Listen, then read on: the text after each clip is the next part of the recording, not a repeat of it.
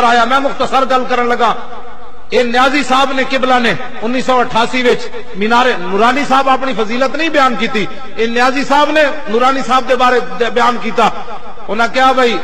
ਮੈਂ ਲੰਡਨ ਜਾ ਗਿਆ ਤੇ ਉੱਥੇ ਮੈਨੂੰ ਇੱਕ ਬੰਦਾ ਮਿਲਿਆ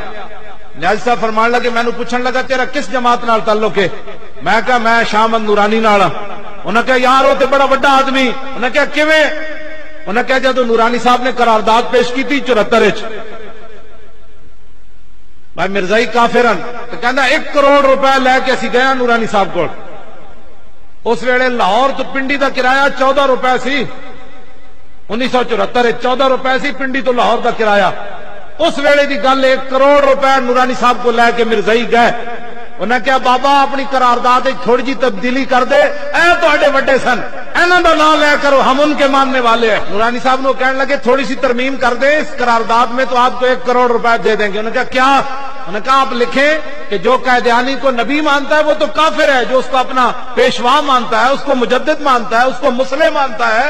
वो काफिर नहीं है। नूरानी साहब ने फरमाया, आप देर से पहुँचे हैं, मेरा पहले सौदा हो चुका है। और मिर्जाई कहने लगे, क्या इससे भी, हमसे भी ज़्यादा किसी ने रकम दे दी? किसने आपने इतना सौदा लगा लिया? करोड़ से भी ज़्यादा।